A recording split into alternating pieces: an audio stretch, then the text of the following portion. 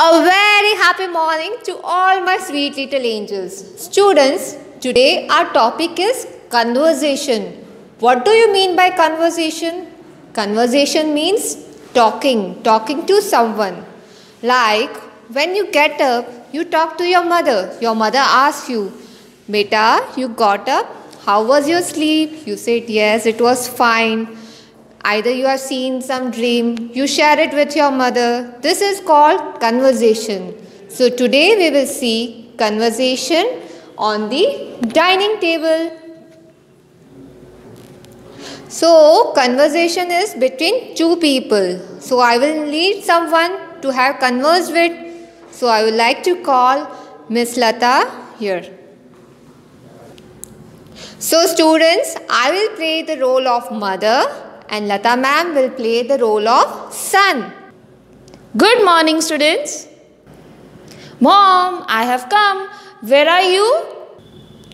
I am in the kitchen, son. I'm hungry. What's for the lunch, Mom? Son, go and wash your hands. Change your uniform also. Can I change my clothes later? First, let me have something. I'm very hungry. Okay, wash your hands and face properly with soap and come. Here I am. Please have its dal rice and sabzi roti. I won't eat this. I want pasta.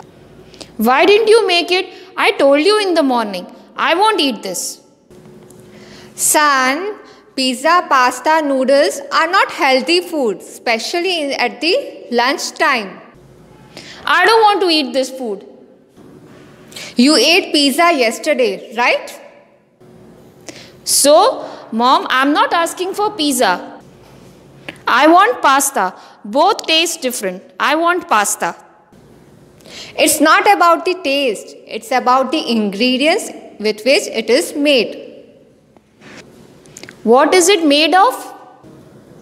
It is made up of maida and that does not have proper nutrients. Okay, mom, now I'm eating it, but tomorrow I won't. Okay, let's see tomorrow. After lunch, please don't forget to keep the plates in the wash basin. Okay, mom. So students, I hope you like this conversation. Conversation between mother and son.